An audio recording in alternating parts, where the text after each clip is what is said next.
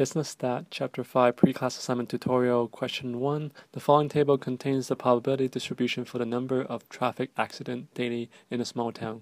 Complete part A and B to the right. A, to compute the mean number of accidents per day, we're going to use the summation formula of x times probability of x itself.